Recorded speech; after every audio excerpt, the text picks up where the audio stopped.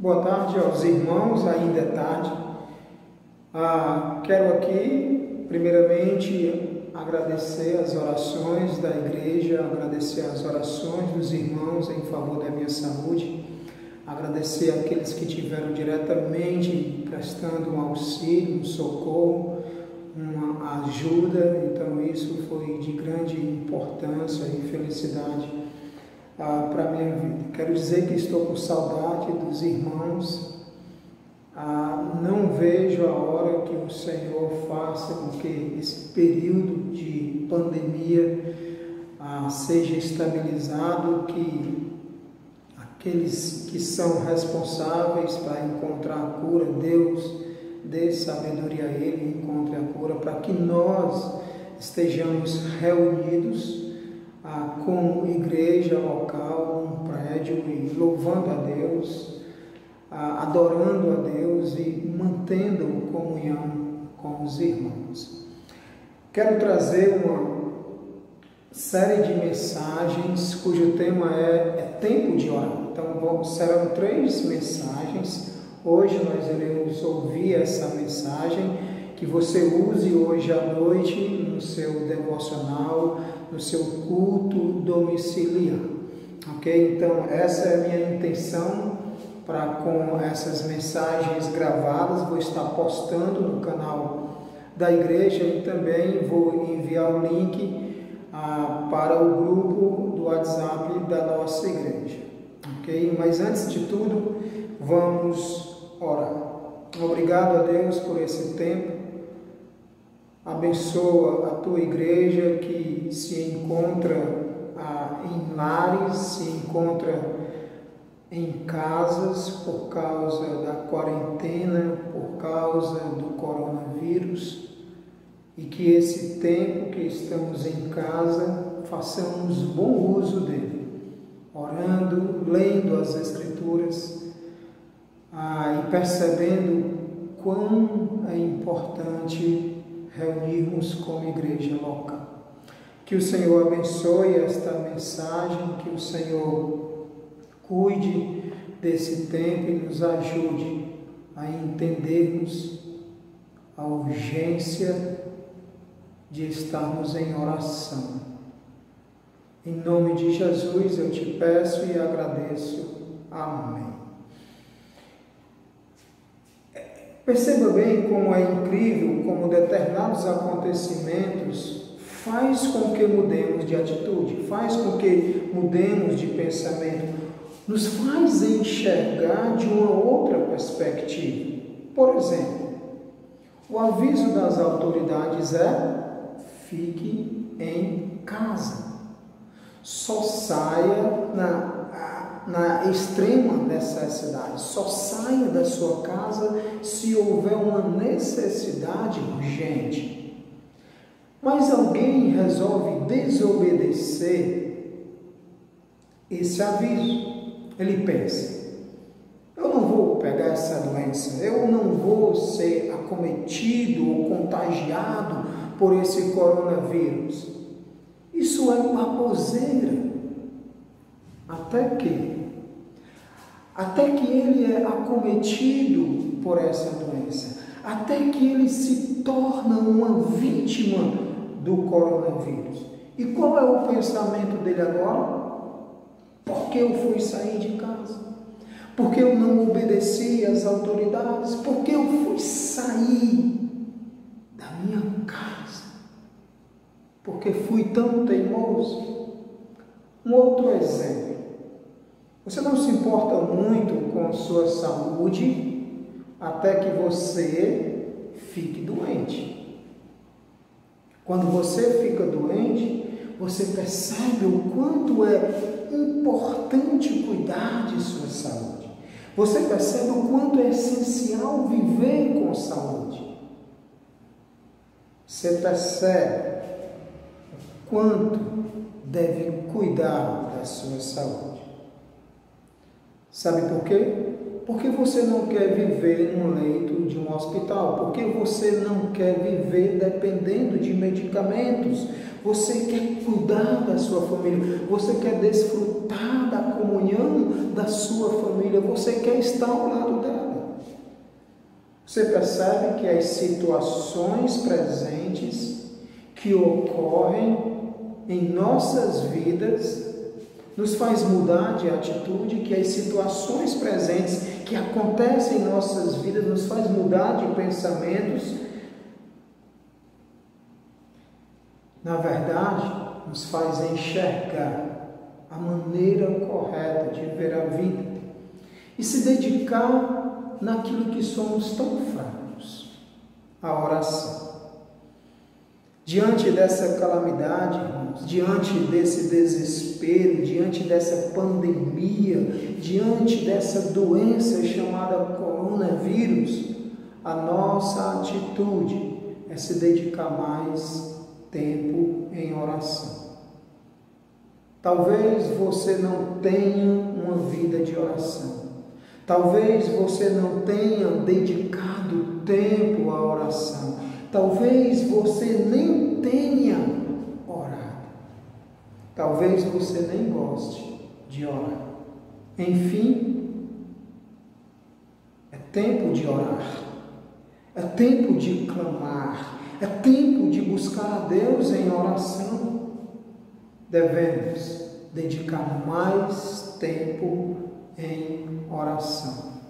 Para isso é preciso que nós venhamos a definir o termo orar. Orar é estender a nossa incapacidade em nome de Jesus perante os olhos do grande e soberano Deus que sabe todas as coisas. Orar é estender a nossa incapacidade diante de um Deus que tudo entende, que tudo acolhe e tudo responde. A oração é a respiração, é o suspiro do ser humano por Deus, é o tempo em que eu quero falar com Deus, é o tempo em que eu quero desfrutar da comunhão com Deus. A oração é um tempo em que eu quero estar na presença de Deus. E é por esta razão que nós devemos nos dedicar mais tempo em oração. Por quê? Porque a oração é o meio de conversar com o nosso Criador. A oração é o meio pelo qual eu converso com Deus, é o meio pelo qual você conversa com Deus, você mantém intimidade com Ele. Olha, nós gostamos e gastamos tempo com quem nós admiramos, com quem nós amamos, com quem nós nos relacionamos. Veja como é incrível isso, nós gastamos muito e muito tempo conversando com aquelas pessoas que nós admiramos, que nós amamos, que nós apreciamos. Se nós pudéssemos, passaríamos o dia inteiro conversando com ela, desfrutando da comunhão dela, desfrutando da companhia dela. Por quê? Porque nós temos prazer de estar com aquela pessoa. Porque nós temos alegria de dialogar com ela, de trocar algumas prosas com ela, principalmente de desfrutar da comunhão com ela. Por que nós não aplicamos esse mesmo princípio com o nosso Deus? Por que nós não usamos este mesmo conceito para com o nosso Deus? Porque esperamos que Deus faça algo para ele ser buscado. Que nós devemos lembrar é que nós fomos criados por Deus. Em Gênesis capítulo 1, verso 31 diz: Deus viu o que tudo havia feito, e eis que era muito bom. Houve tarde e manhã, o sexto dia. Gênesis 1 e 31.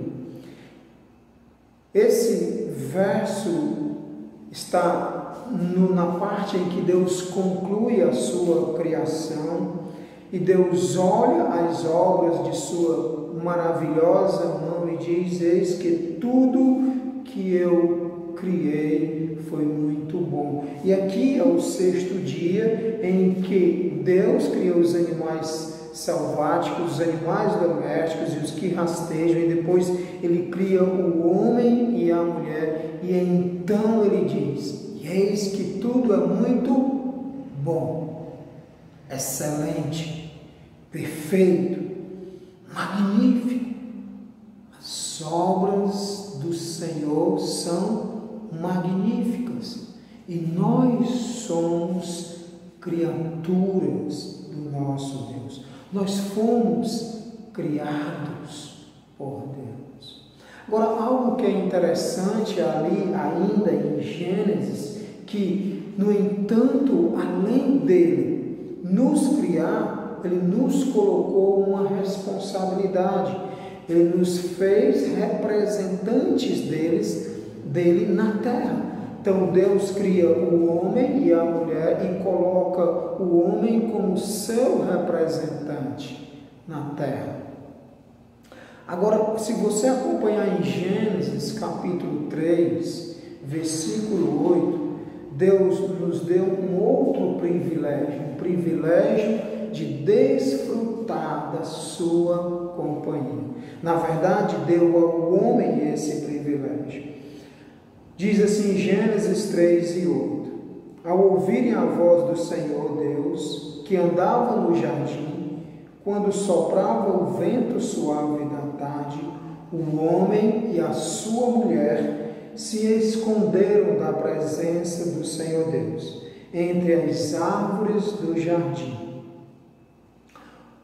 O casal, tudo indica nesse versículo que o casal desfrutava comunhão com o seu Criador, da comunhão com Deus. A ideia que dá esse versículo é que todos os dias, na virada do dia, o Senhor aparecia para ter comunhão com eles, para ter um relacionamento com Adão e Eva.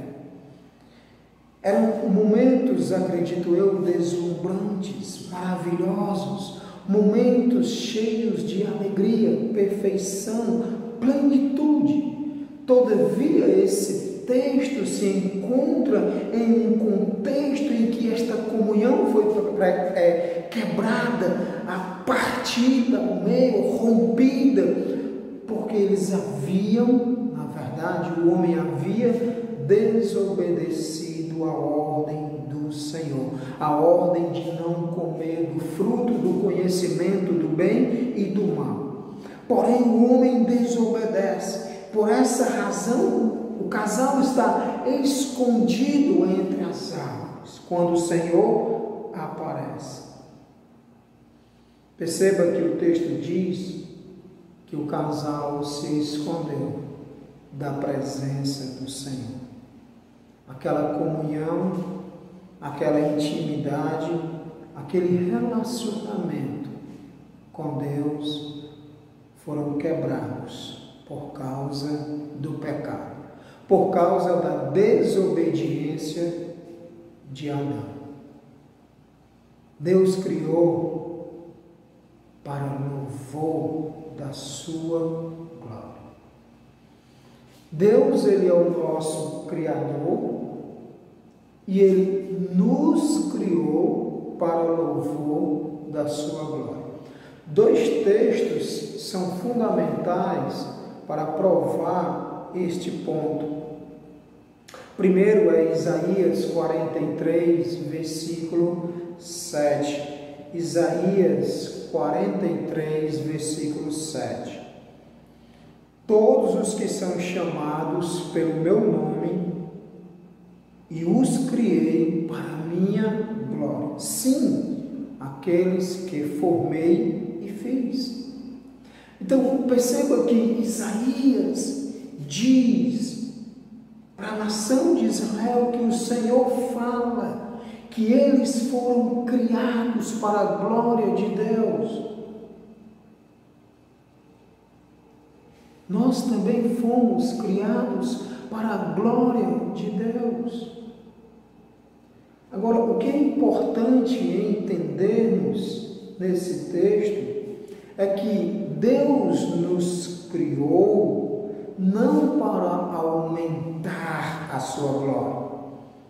Ele nos criou para revelar a sua glória, para revelar a sua pessoa. Isso significa que quando você e eu fomos criados por Deus, ele se manifestou a nós, revelando a sua glória.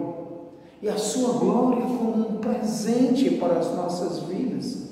A presença de Deus é como um presente para as nossas vidas. Então perceba que esse texto deixa bem claro que fomos criados que fomos feitos para a glória de Deus. Deus é o nosso Criador e fomos criados para a glória dele.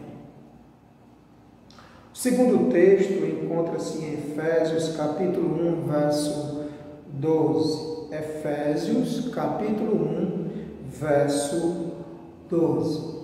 A fim de sermos para o louvor de Sua glória Novamente, a fim de sermos para louvor de Sua glória. Nós, os que de antemão esperamos em Cristo.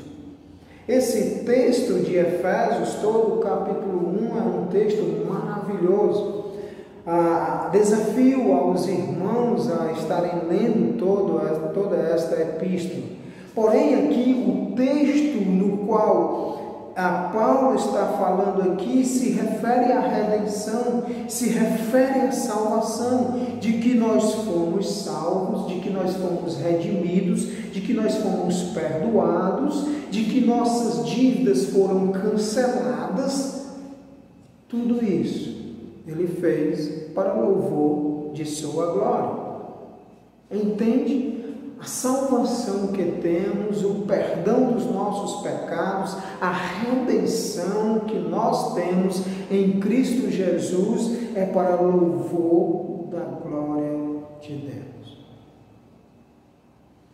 O fato de nossa existência não é primeiramente satisfazer as nossas necessidades. Não é satisfazer os nossos caprichos, nossos desejos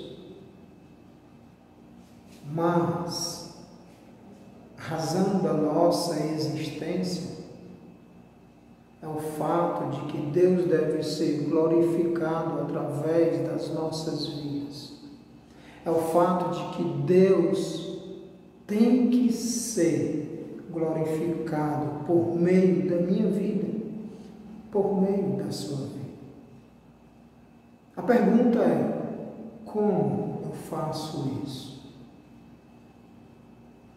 Viver para a glória de Deus é você manifestar a presença dele em sua vida, em todos os lugares onde você passar. É ter características de Deus que Ele nos escolheu para sermos santos e irrepreensíveis em sua presença. Efésios capítulo 1, verso 4 diz isso, no próprio texto, aonde Paulo falou que fomos redimidos para a glória de Deus.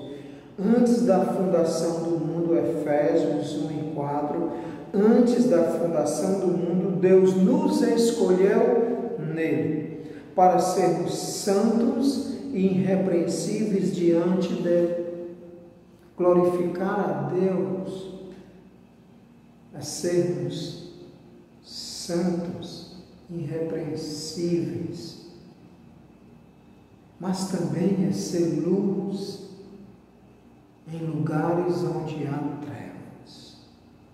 Mateus capítulo 5, verso 16 5 e 16 diz: Assim brilhe também a luz de vocês diante dos outros, para que vejam as vossas boas obras que vocês fazem e glorifiquem o Pai de vocês que estás nos céus.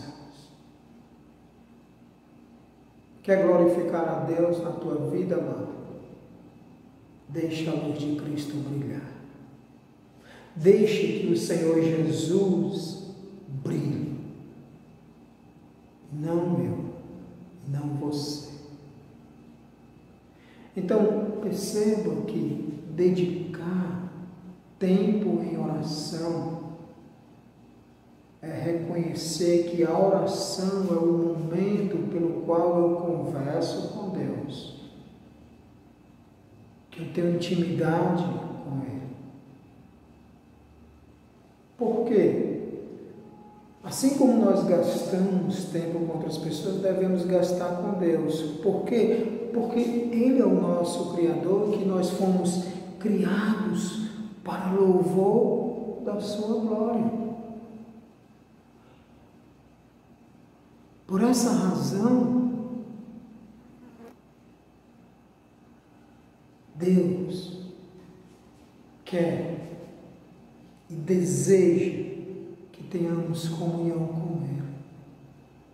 Deus deseja que tenhamos comunhão com Ele por meio da oração. Mateus capítulo 6, verso 6 diz: Tu, porém, quando orares, entra no teu quarto, fechada a porta, orarás a teu Pai que estás em secreto. E teu Pai que vem em secreto te recompensará.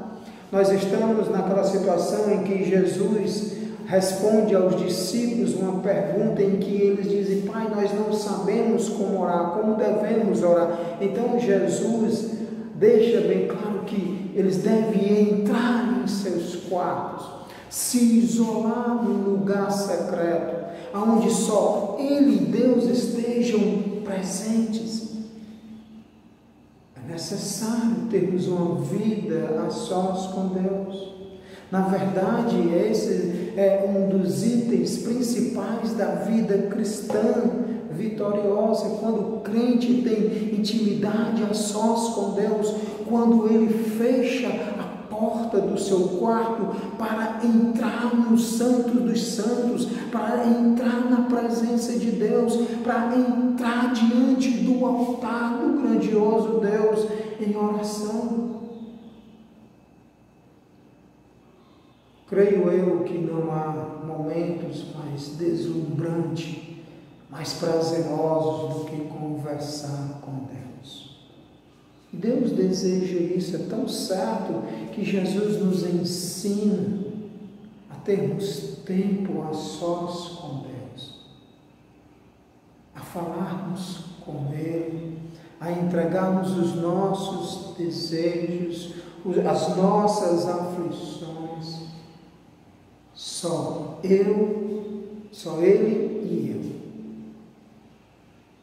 Sabe, a nossa maior alegria nesse momento não é querer sair de casa, porque não aguenta mais ficar em casa.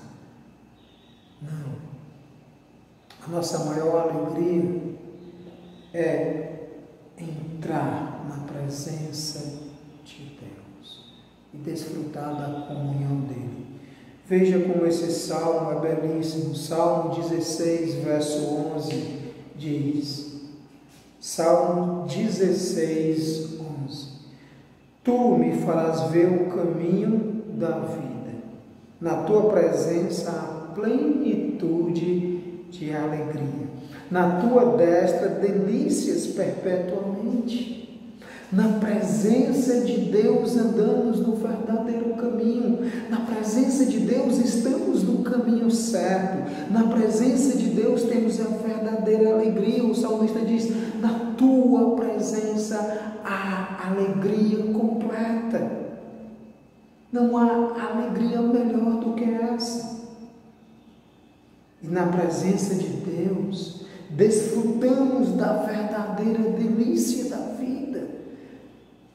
Sabe, eu confesso aos irmãos, esse tempo que eu tive doente, pouco comi, mas depois que passou a enfermidade, parecia um cachorro doido, comendo, feito doido, até que tive que dar uma parada para não extrapolar. Porque é bom comer, é delicioso desfrutar daquilo que é saboroso e gostoso. Mas não há nada melhor do que desfrutarmos da comunhão com Deus. Essa é a verdadeira delícia da vida.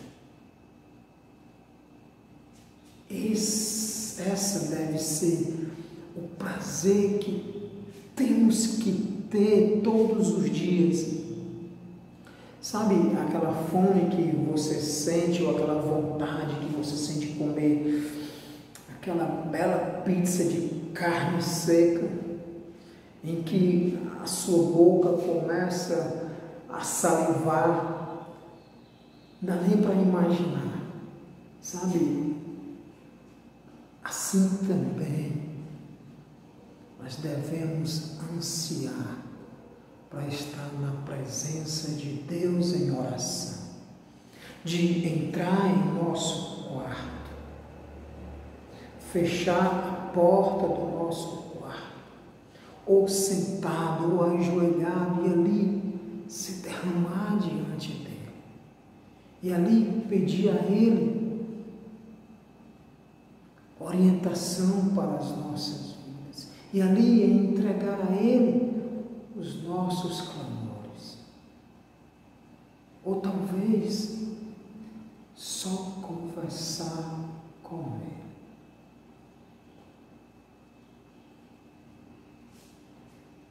Deus deseja, irmãos, que tenhamos comunhão com Ele.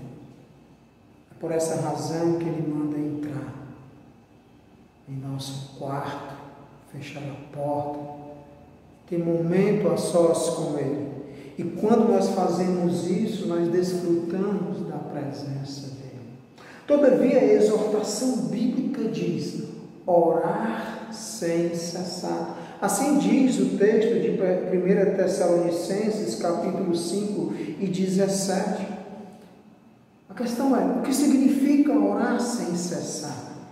Significa orar com persistência, orar com constância, é nesse momento em que o coronavírus atingiu o mundo inteiro, em que todas as atenções estão dirigidas a ele, a essa doença, nós devemos orar com persistência, com constância, para que Deus logo, logo resolva essa situação. Que logo, logo nosso Deus nos dê o livramento ou a vacina para que muitos sejam curados.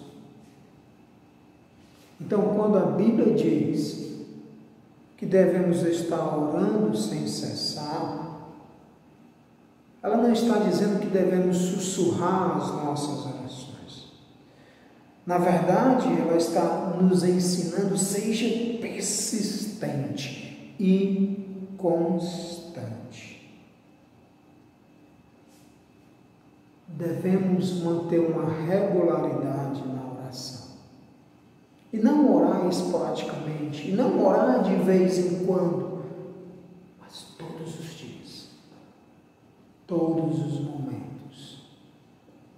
Sermos homens e mulheres que querem desfrutar da comunhão com Deus por meio da oração.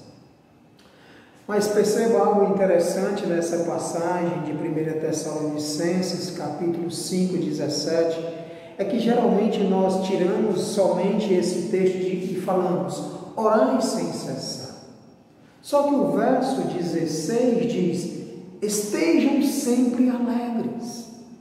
O verso 18 diz, em tudo dei graças, porque esta é a vontade de Deus para vocês em Cristo Jesus. Então perceba que o orar sem cessar está dentro de um contexto em que estamos contentes, estamos felizes, estamos alegres no Senhor e oramos diariamente, oramos com persistências e independente da resposta da oração, estamos alegres.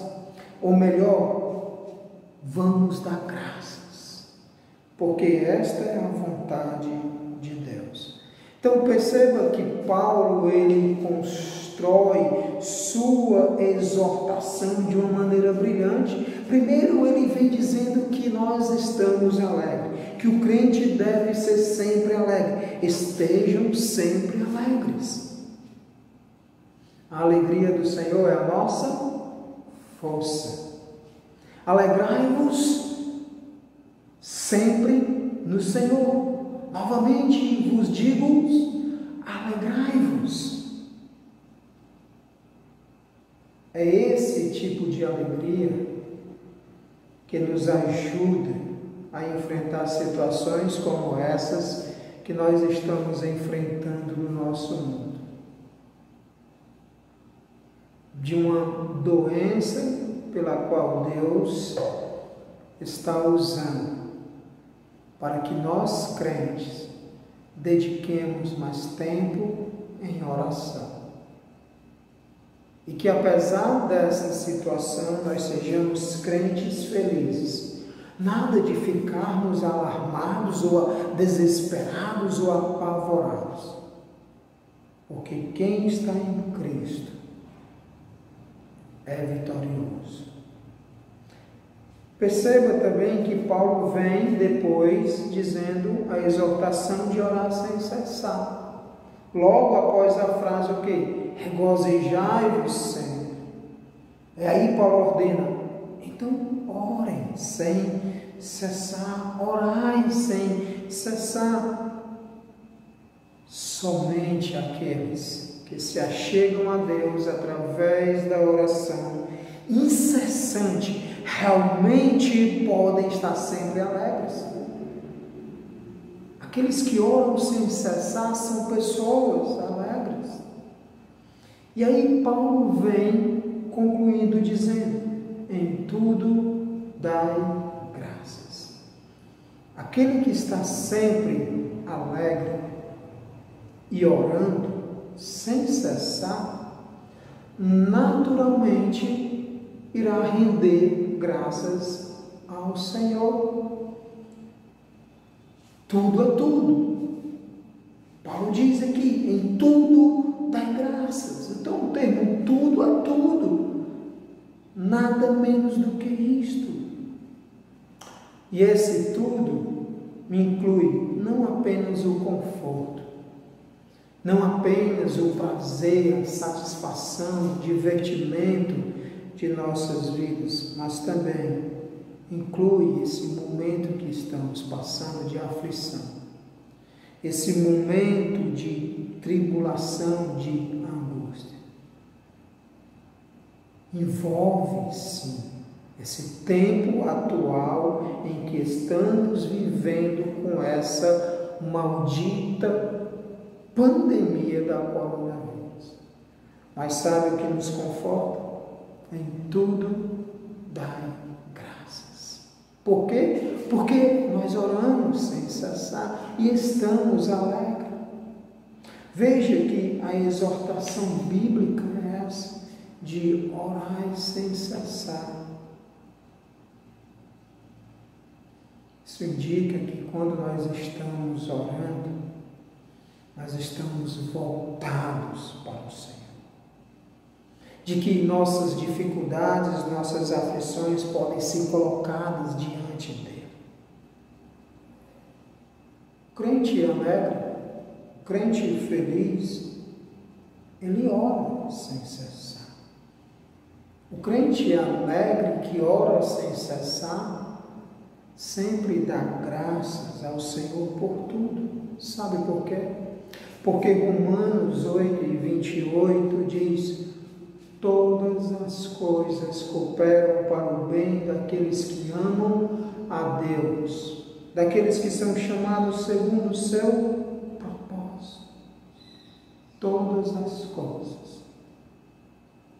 Deus usa até o coronavírus, para que nós venhamos a termos mais tempo de oração. É tempo de orar. Tempo de orar. Porque oração é conversarmos com o nosso Criador. Porque a oração é o momento em que você e eu temos intimidades, temos um relacionamento, temos comunhão com Ele. Eu quero encerrar essa primeira série de pregação.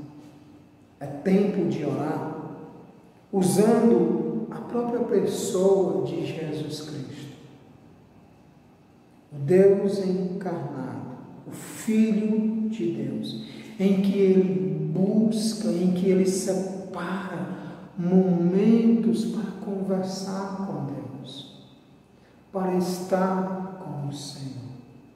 Marcos capítulo 1, versículo 35.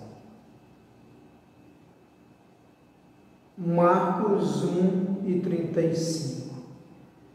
Tendo se levantado de madrugada, quando ainda estava escuro, Jesus saiu e foi para um lugar deserto. E ali orava. E ali orava. Se você ler os versículos anteriores, você perceberá que Jesus passou o dia atarefado. Jesus passou o dia ensinando, curando pessoas, mas o texto diz que madrugada, logo cedo, aonde nem o sol havia aparecido, ainda escuro, sai do seu conforto, do seu descanso, para buscar a presença de Deus Pai em oração nós poderíamos perguntar assim: se Jesus é o próprio Deus, por que ele vai buscar?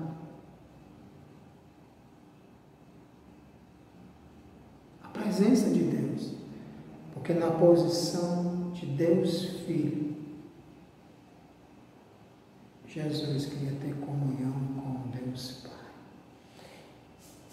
Agora, essa não é a pergunta.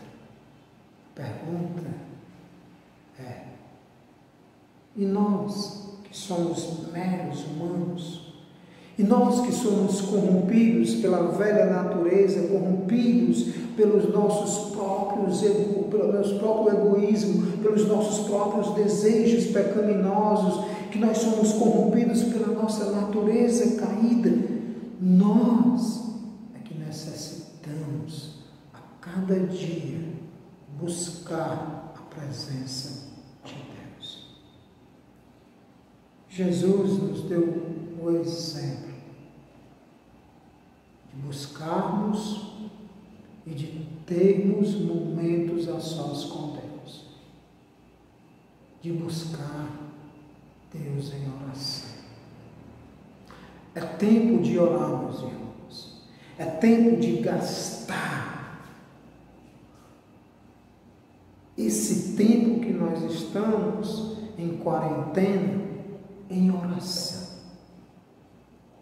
Porque a oração conversar com Deus, é estar diante dele. Que o nosso Deus nos abençoe. Que o Senhor nos ajude a sermos homens e mulheres de oração que estejamos sempre sedentos de entrar em Sua presença e conversar com Ele.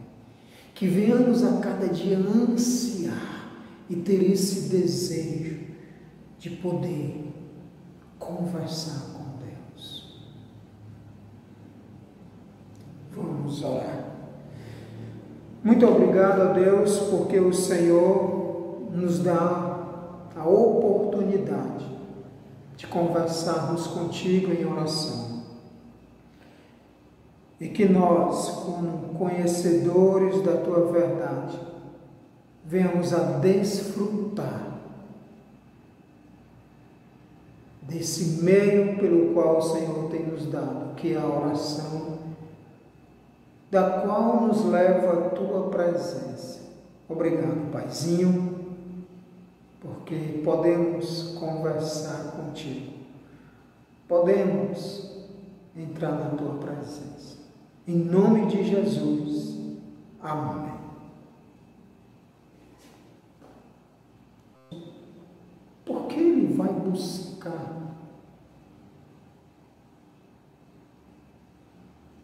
A presença de Deus? Porque na posição de Deus Filho, Jesus queria ter comunhão com Deus Pai. Agora, essa não é a pergunta.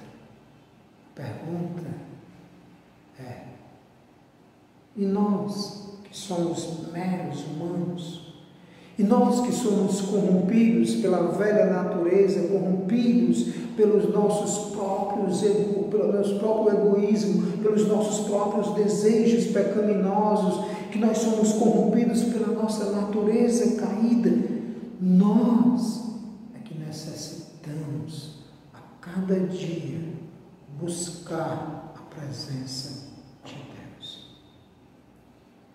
Jesus nos deu o exemplo de buscarmos e de termos momentos a sós com Deus, de buscar Deus em oração. É tempo de orarmos, irmãos.